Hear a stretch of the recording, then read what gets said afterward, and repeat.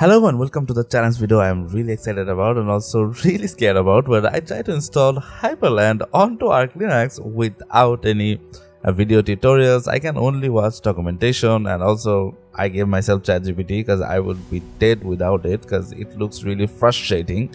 Anyway, the first part of this video is actually done on a virtual machine. It was really weird in a virtual machine and please don't attempt it in a virtual machine and you will see throughout the video what I mean.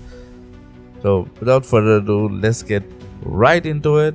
Also, if you're new to the channel, then subscribe and leave a like if you enjoyed the video.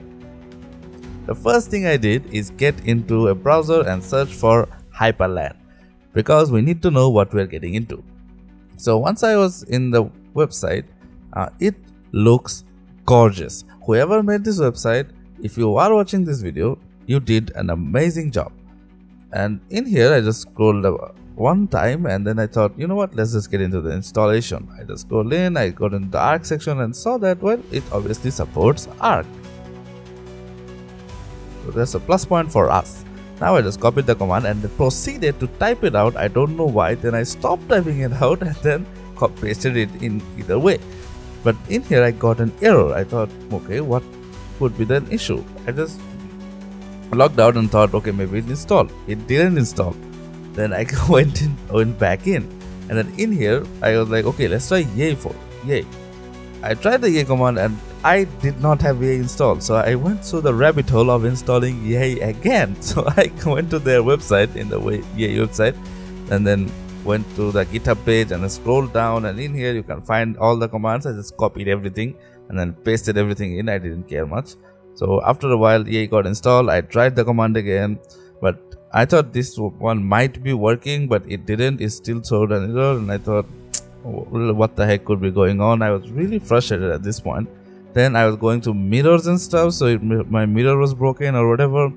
Then I thought, you know what? Let's just update the system, and that you won't believe it actually solved my problem.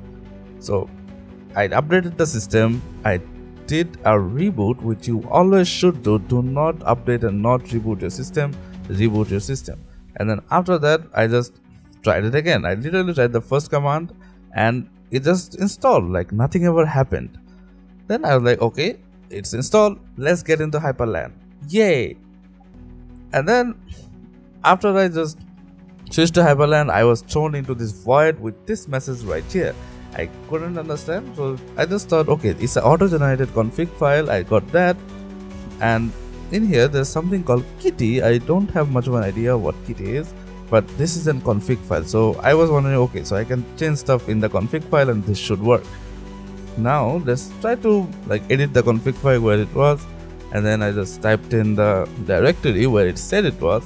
And in here the i like noticed quickly that there's something called auto generated and i thought okay so this must be the thing that like generates that message so and then I scroll down a bit and my ADHD brain saw monitors and I was like Uka Buka monitor, let's get into it. We are getting ahead of ourselves. First we need to install Hyprland itself. So now I just saved the config, got out of it and then just installed Kitty. And I was surprised that that actually worked. I didn't know what Kitty was. So I just uh, opened up Kitty and it was a terminal emulator. So basically like console but lighter I would assume. So I don't know about it. If you know leave a comment down below and then I just logged out and you know what? I hoped for the best. And after I logged into Hyprland, for some reason the keybind that was like typed out before which opens up the kitty or whatever it wasn't working. I was clicking really hard. Multiple times it wasn't working.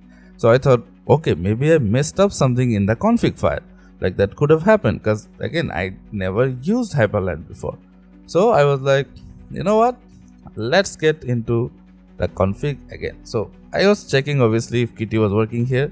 So i went into the config file again and i thought well, let's scroll down. Let's see if we can find something important. And then i stumbled upon this terminal thing and i was like you know what? Let's just change this to console. So hope this works.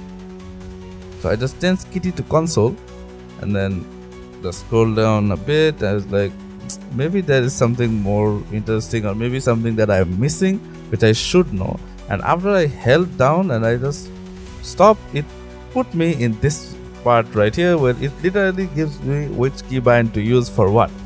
And in here I was like okay so everything is right here. I can use the super key and which was basically the Windows key and E to open up stuff. So I literally like memorized as much as I could logged out got into Hyprland again and pressed Windows Q again. At this time console actually opened Windows E actually opened the file manager which was really nice and I was really happy about It. but then I realized wait I cannot close them. And I realized well Windows C does it. So this is where I was trying to figure out how to uh, actually open apps and stuff. So I could type it in terminal but for some reason I couldn't open like any app launcher or anything so I was like doing it like this. I was getting into the config and looking for stuff where I was like okay maybe uh, I should first like fix my windows or the monitor because it's really huge. Everything is really zoomed in. So I was googling googling and it helped. So I got into the monitor section which was literally a dedicated page. So I was like okay I could list it and again this is the part oh this part is done entirely on a virtual machine. So I could actually show you like how like how much pain it is to work. But that's basically how we do it. I just copied the virtual one. I saved it.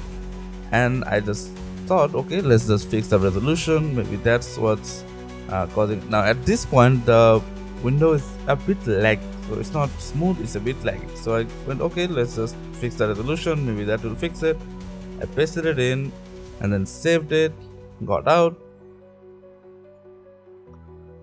and I left everything as is. I just left everything and then pressed Shift M, sorry Windows M to get out. And then I logged it back in.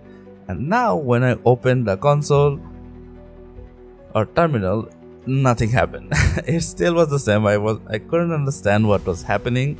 So I was like, okay, let's just get into the config again. I tried to do uh, like I'll save you the trouble of watching me do this because I tried to redone the VirtualBox thing, it didn't work, it wasn't that, and then so basically the drivers and stuff, it wasn't that. I got in the config again, I changed this last parameter, which was basically the scale of it, and I set it to 1, and things just worked. But this worked, but it made my system super laggy. Before I switched to my actual system, I thought maybe I should try out the key combination or the key binds that are kind of basic to what I need to know. So in this section, I kind of just uh, learned the keybinds a bit and also figured out that I can edit the config file with Kate, which is a much better editor and I don't even have to look at a terminal. And yes, I am not a real architect if I don't use Vim, but I know I can't be bothered with that right now. So that's how it went. Everything was lagging really hard, everything was really bad. So I thought, you know what, screw this let's just go on to my actual system so uh, from here on out whatever you see me do is on my actual system I will cut right here and I would have liked to do a little bit more on this video but I wondered that I should get a feel for Hyprland first and how it works uh, just to get things set up before I actually just dive headfirst onto my actual system. This was kind of the video where I uh, see what everything does and what uh, how to get things running. Uh, the uh, next few videos will be just uh, me figuring stuff out and there will be a lot of things along the way. I hope you guys enjoy the video. Uh, i'll see you guys in the next one. Bye